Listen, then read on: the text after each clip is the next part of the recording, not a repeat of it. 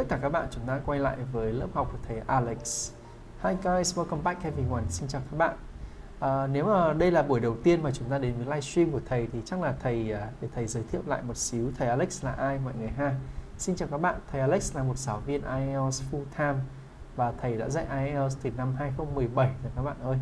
Đó và thầy Alex đã livestream uh, à, dạy IELTS trên TikTok như vậy từ năm 2021 2020 gì đó 2021 rồi các bạn thì đến nay là cũng được uh, một cái thời gian một cái chặng đường cũng không phải quá dài nhưng mà thầy nghĩ là kiểu ở trên gọi là nền tảng số như vậy đúng không? Thì thầy nghĩ là cũng là một cái milestone đúng không? Cũng là một thời gian khá là dài các bạn ha? Đó.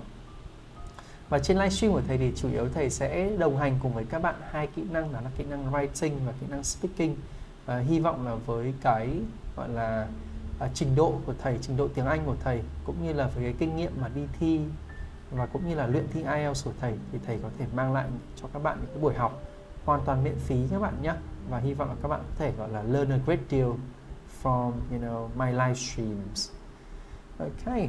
Và các bạn ơi, thầy có một cái favor nho nhỏ muốn nhờ các bạn, đó là chúng ta khi xem livestream của thầy thì các bạn chịu khó là chúng ta hãy ấn vào màn hình, chúng ta thả tim giúp thầy, được không ạ?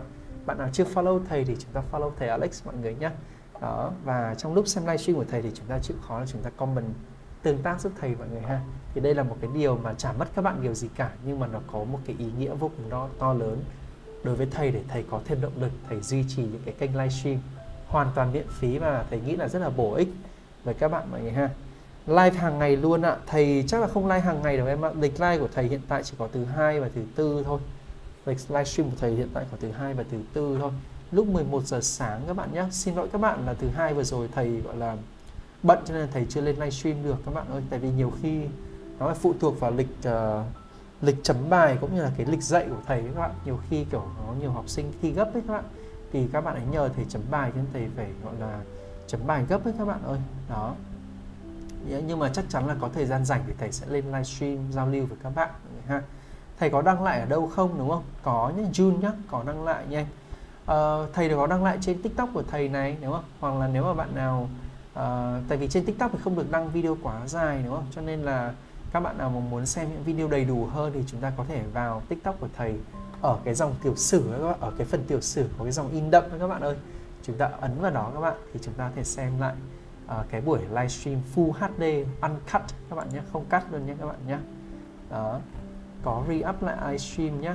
Thầy có nhận thuê chấm bài không? Có nha em ơi có nhé thầy có đăng lại bài không? Thầy có đăng lại video thôi chứ thầy không đăng lại bài nha nhá. Đó. Ok, anyway, chắc là chúng ta bắt đầu thôi mọi người nhỉ. Cũng bắt đầu đông vui rồi mọi người nhỉ. Chắc là chúng ta bắt đầu thôi các bạn ơi. Hôm nay thì chúng ta sẽ cùng với thầy à, xử lý một cái dạng bài gọi là writing task one đúng không mọi người ha? Đó, thì nhiệm vụ đầu tiên của chúng ta sẽ là đọc đề bài. Các bạn đọc đề bài với thầy xem người ta cho mình cái gì để các bạn à, xem lại ở đâu. Các bạn ơi chúng ta muốn xem lại. À quên mất thời dặn các bạn luôn. Nếu mà bạn nào muốn đăng ký học IELTS đúng không? Chúng ta có nhu, nhu cầu học IELTS chúng ta sắp thi IELTS. Chúng ta muốn tìm một cái lớp IELTS có sĩ số nhỏ từ 4 đến 8 bạn. Hoặc là các bạn nào có nhu cầu học 11 thì chúng ta có thể vào cái phần tiểu sử trong tiktok của thầy các bạn. Ở cái phần tiểu sử có cái dòng in đậm để chúng ta nhắn tin với thầy mọi người nhé. Tí nữa thầy xuống livestream và thầy sẽ tư vấn cho các bạn. Người ha và các bạn cũng có thể vào cái phần tiểu sử và cái dòng in đậm các bạn để chúng ta xem lại mọi người nhé. Đó, tại vì thầy không tiện nói tên nền tảng khác ở trên này các bạn cho nên chúng ta thông cảm giúp thầy. Vào phần tiểu sử ở cái dòng in đậm các bạn ơi. Cảm ơn các bạn rất là nhiều. Nào nhiệm vụ đầu tiên của chúng ta sẽ là phải uh, xem cái đề bài đúng không mọi người nhỉ? Uh, các bạn cùng nhìn với thầy cái đề bài nào. So the charts below give information about USA uh, marriage and divorce rates between 1970 and 2000 and the, ma uh, and the marital, marital status of adult Americans in two of the years. À, uh, marital status nó là kiểu gọi là tình trạng hôn nhân đúng không các bạn ha trong hai năm này. Và đề bài chúng ta là mình sẽ phải uh, summarize tóm tắt cái thông tin bằng cách lựa chọn và báo cáo các điểm điểm chính đúng không? Đó và mình sẽ phải so sánh đúng không? Ok chưa? Yeah. đề bài lúc nào của phần task one nó cũng rất là rõ ràng như vậy.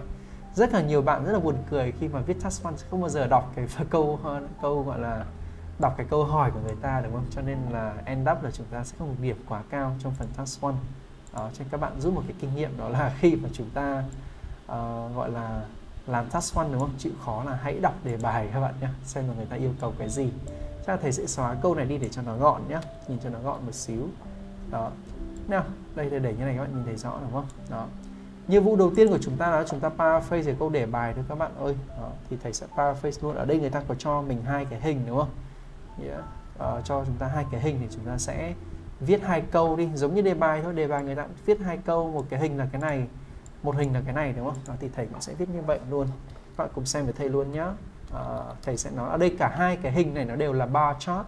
Cho nên thầy sẽ gọi là the first bar chart đi cái hình đầu tiên đúng không? The first bar chart uh, thầy hay dùng từ so sánh compares đúng không? Compares the number of uh, đây là thầy có thể nói là cái số lượng marriage đúng không? Giống cái đề bài thôi. Uh, marriage. Các bạn ơi chúng ta nhớ là cái phần paraphrase này chúng ta phải viết rất là nhanh nhé. Đừng có lề mề quá các bạn ơi. Dưới một phút uh, divorces. Nếu mà không paraphrase được thì thôi đừng có cố các bạn ơi.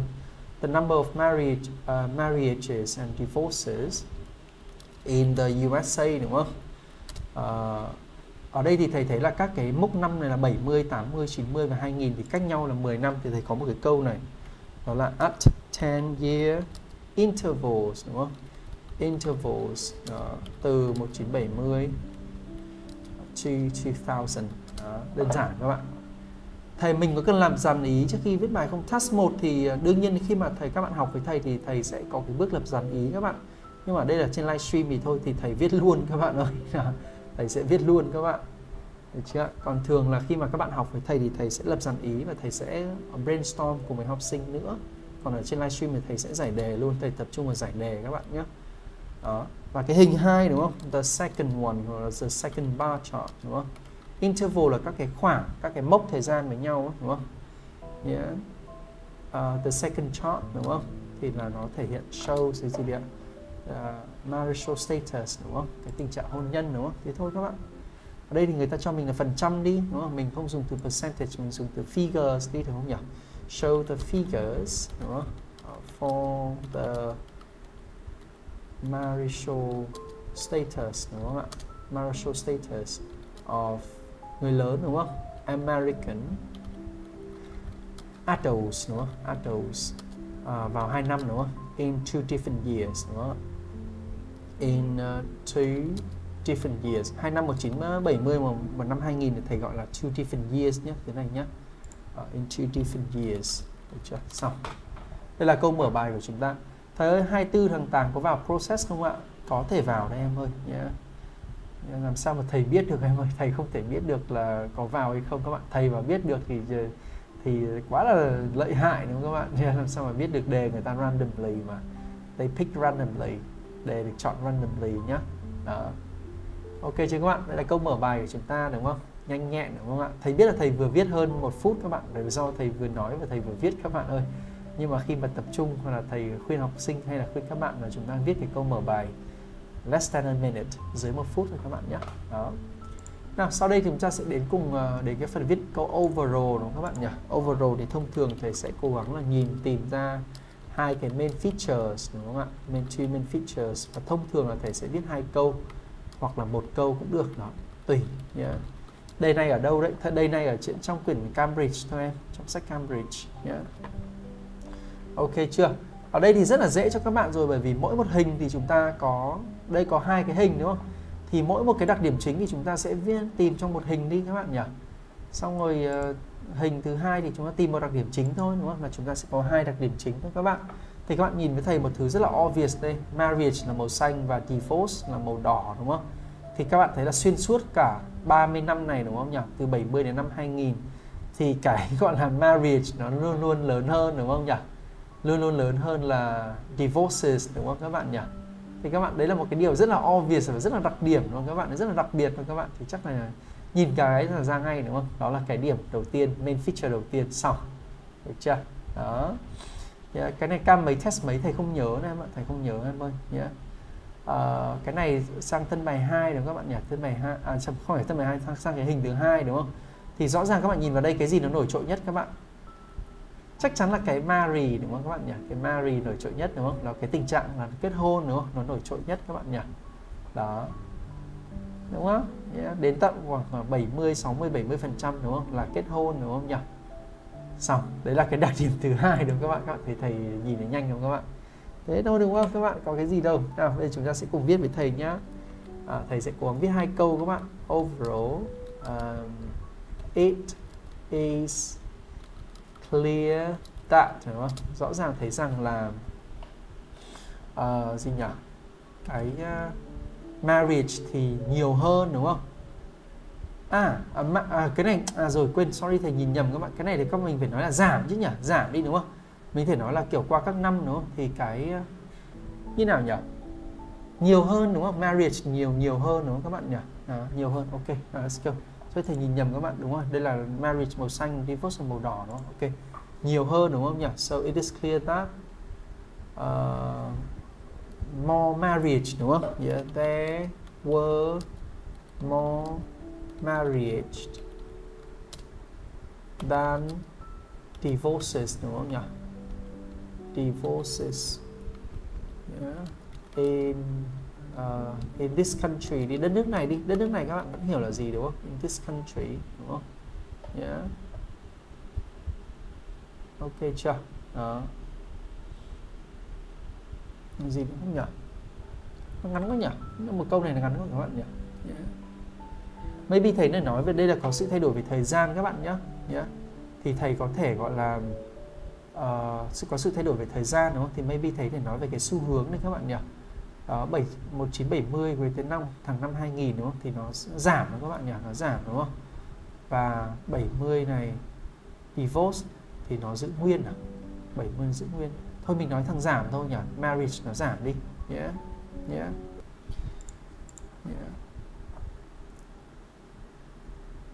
em thấy cái divorce nó cũng nằm trong cái marriage mà mình sờ sờ nhiều, sờ sờ nhiều là gì hả em yeah. mãi rồi đấy bạn Đức Mạnh nói gì thế hả em ơi yeah. chắc là phải ban bạn Đức Mạnh thôi, đúng không yeah. thật là ờ, rất là khó hiểu luôn, đúng không ạ yeah.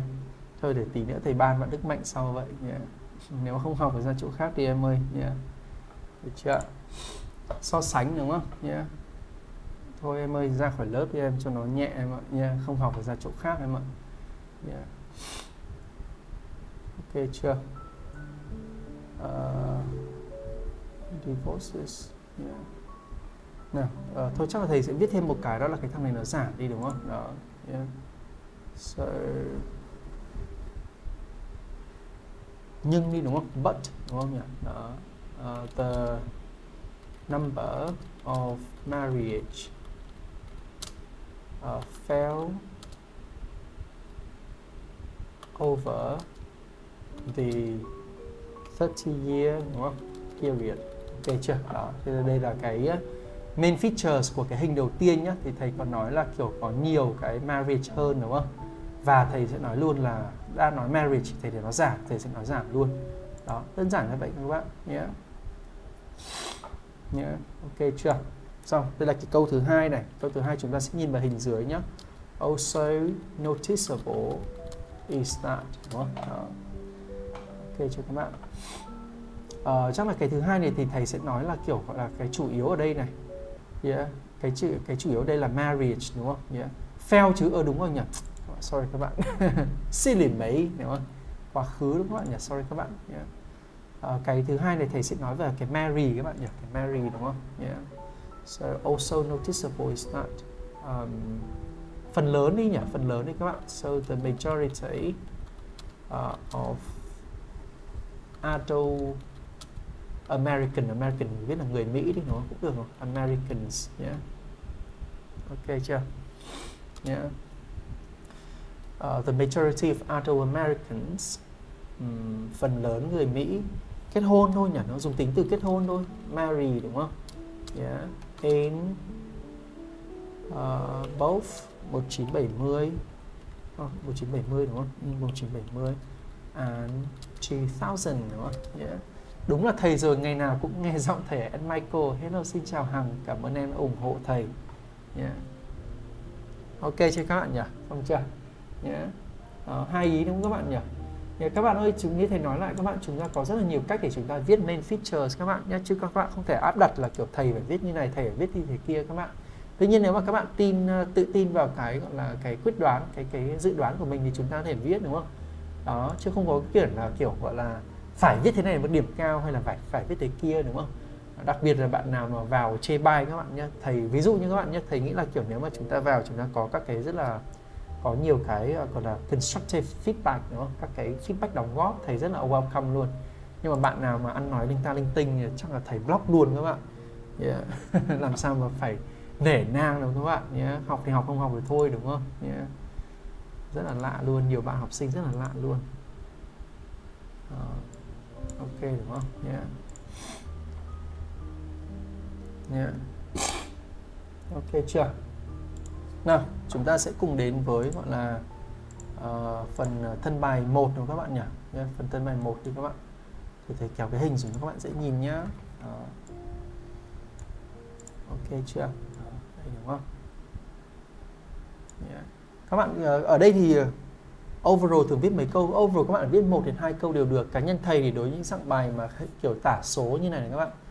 Thì uh, thầy sẽ viết hai uh, thầy sẽ viết hai câu. Đó tuy nhiên là sẽ có một số dạng mà sẽ ít hơn ít cái thứ để chúng ta quan sát hơn ví dụ như là dạng process hay là dạng map các bạn.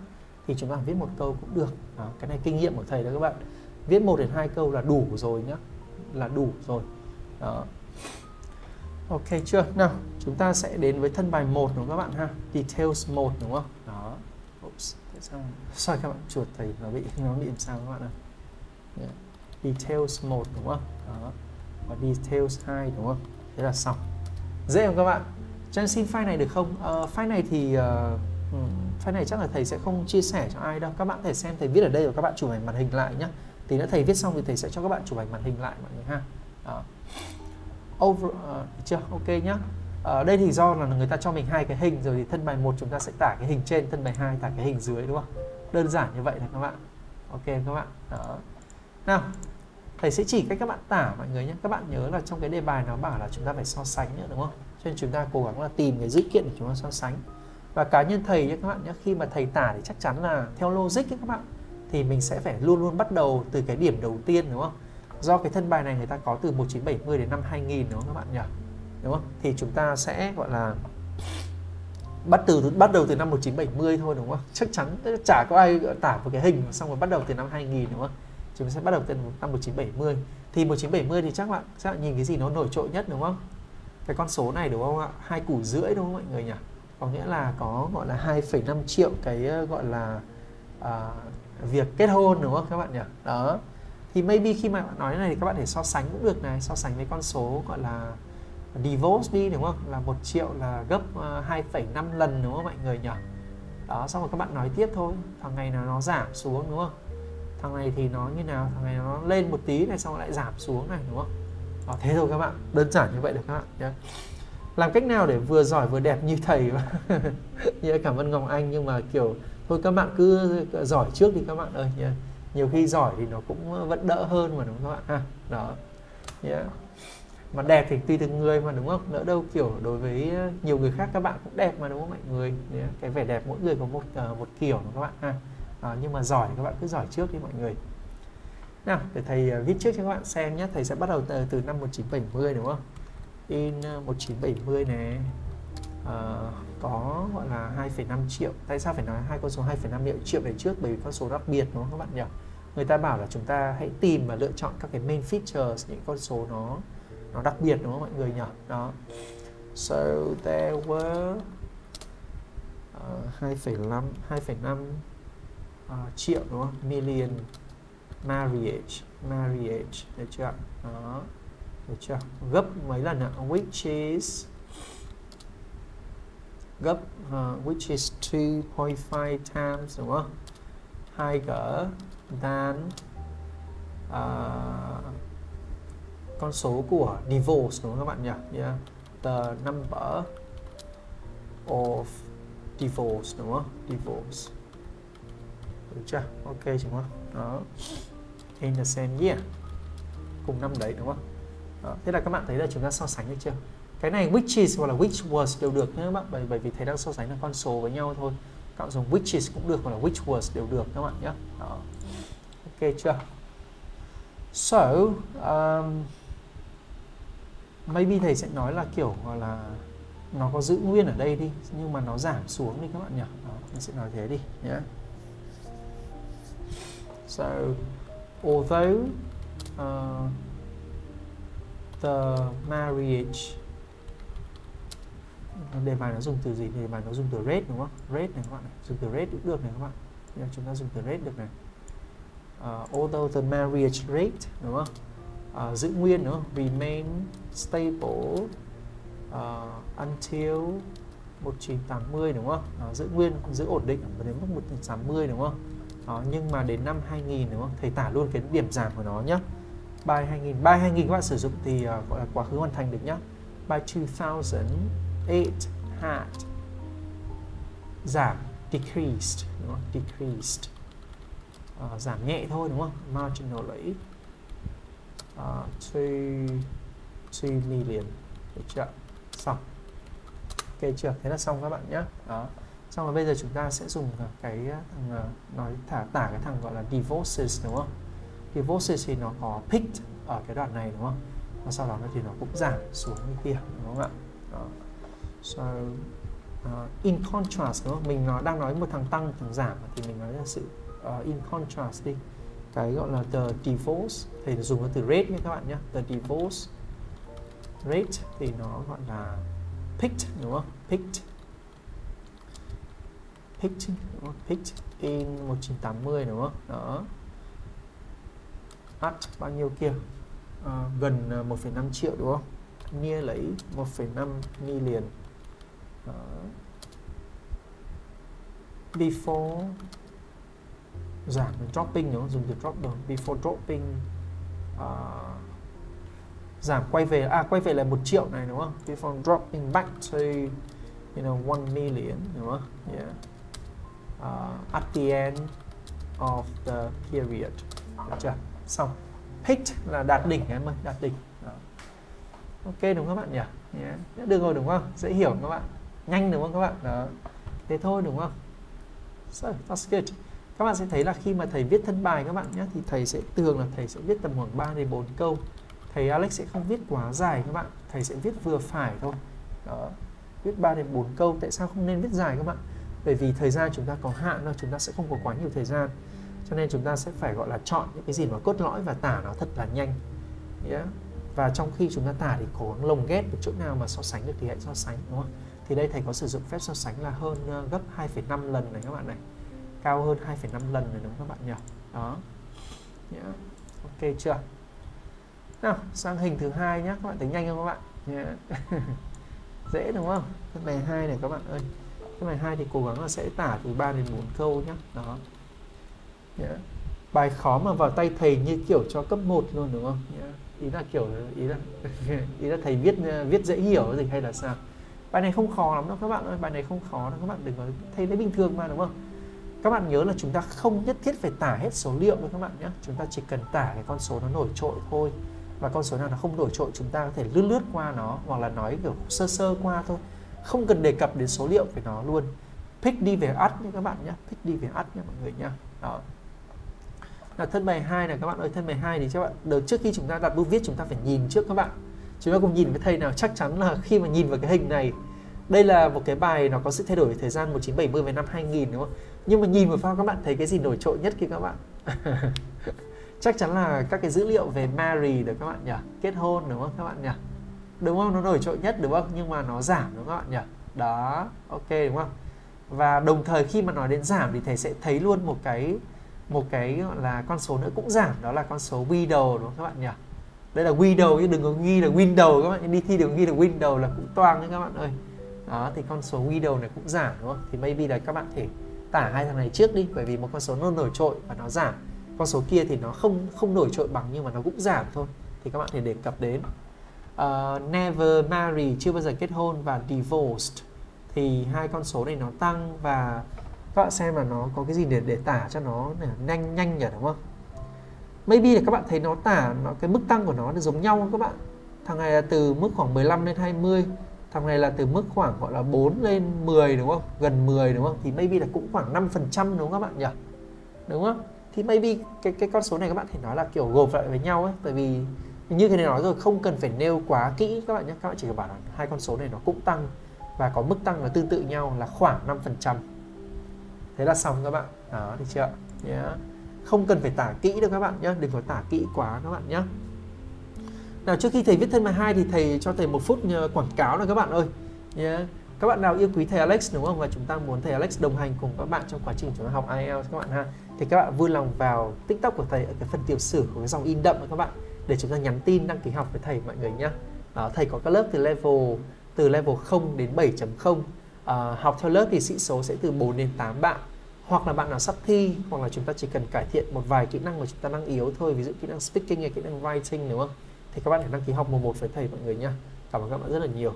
Alright. nào quay lại bài các bạn nhé bây giờ chúng ta sẽ viết đầu tiên về cái Mary trước này. Thầy sẽ cho một cái side posting đi side posting language đi. Recording đi đúng không? Để người ta biết là chuyển sang cái khác rồi. Regarding này đúng không? À, recording uh, à, marital marital status đúng không ạ? Tình trạng hôn nhân đúng không? Thì thầy sẽ nói là con số đầu tiên là 70% trước đi. Tại vì thằng Mary là nổi trội nhất. 70% này đúng không? Đó nhưng mà con số này nó giảm xuống 60% thế là xong các bạn. So 70% of American adults đúng không yeah were married. Yeah in 1970 đúng không đó. Tuy nhiên là this figure uh, dropped đúng không giảm đúng không to 60% đúng không nhỉ? Đó in 2000 đúng chưa? Đó. Nhé ok được các bạn nhỉ? Nhé uh-huh. gì nữa không nhỉ thế thôi đúng không? Mỗi thế là có cái gì nữa đâu các bạn nhé. Ok đúng không? Yeah. nào uh, tiếp là thầy sẽ nói là cái thằng uh, thằng thằng thằng divorce này nó cũng giảm nhá nhưng mà nó thấp hơn rất là nhiều thì thầy so sánh trước đi các bạn. So although thấp hơn nhiều significantly lower đúng không? Đó. Uh, dùng từ gì nhỉ? Phần trăm đi đúng không? The percentage of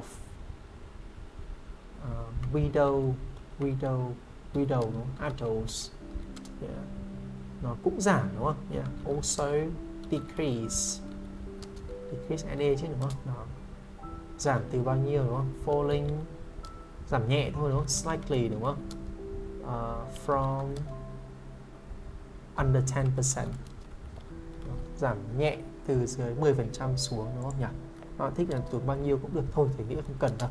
Đó giảm nhẹ thôi falling slightly from under 10% yeah ok chưa?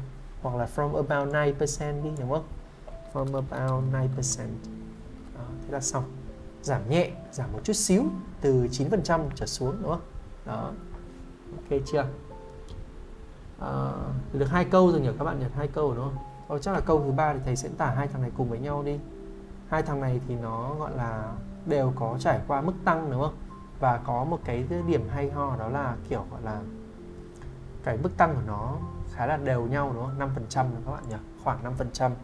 So uh, đang nói giảm thì maybe mình muốn nói tăng thì mình nên thể hiện cái sự ngược lại đúng không? In contrast đúng không? Hoặc là các bạn nói là this uh, is in stock contrast with the phần trăm proportion cũng được đúng không? The proportions of hay là never marry thì maybe thầy sẽ bảo là never marry à?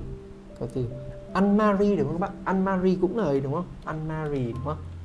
Unmarried uh, ờ, and divorced. Divorced. Oh sorry à đây. Divorced. Uh, divorced. Individuals đi dùng từ individual cũng được đúng không? Individuals được chưa? Đó which rows uh, which both rows cả hai đều tăng đúng không? By around. À thôi đây dùng cái từ each đi đúng không? Which rows uh, slightly hoặc là marginally hoặc là dùng từ khác được không nhỉ?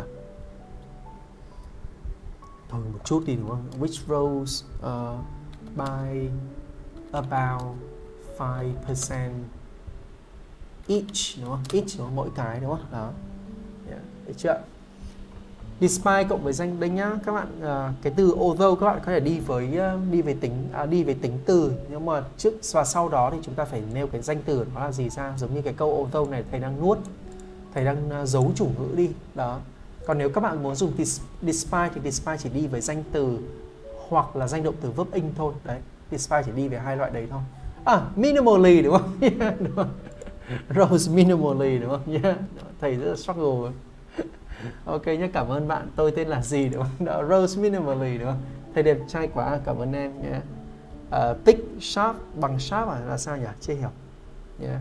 ok chưa? Thì câu này các bạn ờ, này thầy viết mấy câu đấy ạ? Một này ba câu đúng không? Và các bạn thấy là thầy cũng có có nhồi vào cái phép so sánh ở đây đúng không? Đây này lower đúng không các bạn nhỉ? À, thầy có nhồi phép so sánh ở đây đúng không? Đó. ok chưa. ok không mọi người đúng không? Đó. Thầy nghĩ là như này đương nhiên là nếu mà bây giờ thầy có thời gian nhiều hơn thầy trải chuốt thì thầy nghĩ là có thể uh, so sánh được nhiều hơn. Thầy nghĩ là như vậy nhưng mà thầy nghĩ là như vậy là đã đủ rồi. Đi thi thầy nghĩ là như vậy là đủ lắm các bạn. Conversely được các bạn conversely được. Các bạn nhớ giúp thầy đi thi chúng ta chỉ có tầm khoảng dưới 20 phút để chúng ta hoàn thành cái bài này thôi các bạn ơi dưới này khoảng bao nhiêu từ à? Thầy nghĩ chắc chắn hơn 150 từ rồi đúng không? Để thầy đếm cho các bạn nhé để thầy à, đo cho các bạn nhé Đợi thầy xíu thầy à, đây, để như này cho các bạn dễ nhìn, cho các bạn chụp ảnh màn hình lại nữa, đúng không? Để như nào dễ nhìn chụp ảnh màn hình hơn nhỉ? Để như này đi nhỉ? Từng thân bài một nó dễ hơn đúng không? Đây nhá, để thầy đo cho các bạn xem là cái này bao nhiêu từ các bạn nhé để thầy xíu các bạn. Thầy nghĩ là viết như này là hơn 150 từ các bạn ơi. Thầy nghĩ là như vậy, hơn 150 từ rồi. Ừ. đây mở bài và overall là được 78 từ rồi này. À, cái này là 140 rồi các bạn. Chắc chắn hơn rồi các bạn. Này dài quá rồi các bạn ơi. 194 từ các bạn ơi. Thế là quá nhiều rồi các bạn ơi. Thế là quá nhiều rồi. I think that's enough yeah. quá đủ rồi các bạn. Ok chưa? Đó. Đây nhá cho các bạn chụp màn hình lại mọi người nhá. Đó thầy nghĩ là đi thi mà chúng ta viết được bài như vậy thầy nghĩ là cũng secure được ban 7.0 trở lên cho phần task 1 rồi các bạn tối thiểu cũng phải 7.0 trở lên không muốn nói quá là 8.0 8.5 các bạn. Đó. So yeah nào các bạn ơi chúng ta chụp ảnh màn hình lại đi các bạn ơi để về nhà viết lại đi. Đó. À, về nhà các bạn nhớ phải viết lại nữa mọi người nhé cái việc mà chúng ta xem thầy viết là một chuyện để chúng ta hiểu xem là cái logic cái tư duy của thầy khi mà thầy viết bài thôi các bạn. Đó nhưng mà nếu mà chúng ta muốn lên trình các bạn chúng ta phải nên về nhà chúng ta viết lại để chưa? Chúng ta viết lại xem xem là bởi vì khi chúng ta viết lại thì sẽ có rất là nhiều vấn đề xảy ra luôn. Các bạn thấy thầy nãy thầy viết không các bạn?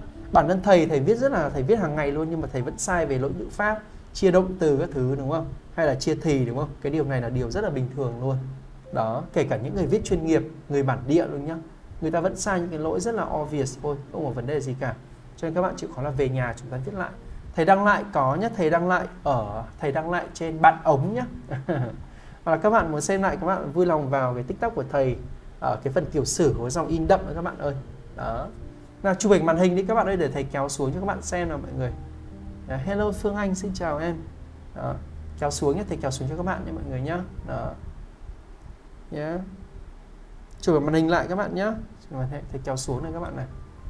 Đó, đây là mở bài về overall đúng không? Được chưa thầy kéo xuống thân bài với cả kèm cái hình cho các bạn này đây là cái hình với cả thân bài à, một này các bạn ơi. Chụp màn hình lại đi các bạn. Về nhà chịu khó phải viết lại đi các bạn nhé chứ không phải là kiểu nó đau đò đọc là chúng ta sẽ thấm vào trong đầu đó các bạn ơi. Chúng ta viết lại đi. Chúng ta xem thầy là một cái điều rất là tốt bởi vì à, các bạn sẽ hiểu được cái logic hay là cái cái, cái tư duy cái, cái cái tư duy phát triển bài của thầy là gì ấy các bạn. Đó và như thầy nói rồi có rất là nhiều cách để chúng ta phát triển bài. Không chỉ mỗi cách của thầy đâu các bạn. Đó thầy live vào mấy giờ? 11 giờ nhá. Hiện tại chắc là lịch của thầy sẽ là thứ hai và thứ tư. À, lịch lịch livestream của thầy sẽ là thứ hai và thứ tư mọi người ha. Ok chưa các bạn. Rồi, kéo xuống thân bài 2 nhé các bạn chuỗi màn hình lại các bạn nhé và ở cái phần thân bài trong phần task 1 thì các bạn sẽ viết từ 3 đến 4 câu thôi. Đừng viết quá dài các bạn nhé viết từ 3 đến 4 câu thôi các bạn. Ok. Và các bạn ơi chúng ta nhớ là nếu bạn nào có nhu cầu học IELTS đúng không? Thì chúng ta có thể nhắn tin với thầy để nhắn tin thầy các bạn vui lòng vào tiểu sử của thầy ở cái dòng in đậm các bạn. Nhắn tin với thầy mọi người nhé đó cảm ơn các bạn rất là nhiều.